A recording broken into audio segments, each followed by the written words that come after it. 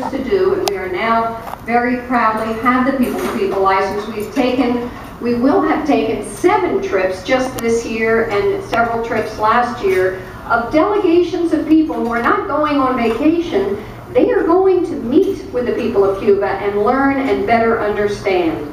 So I to salute all of you for taking time out of your busy schedules to come here today to open up your minds to better understanding this unique and very special country, our closest neighbor.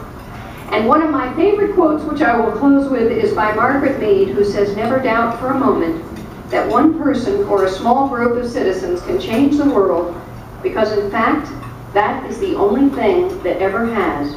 And don't underestimate the influence that each of you here today have as you broaden your understanding and leave today with a little bit better sense of the complicated nature of our closest neighbor, Cuba, and what opportunities and challenges it may offer to us as a country going forward. So I join Steve and the World Trade Center in welcoming you all today. Thank you, Steve.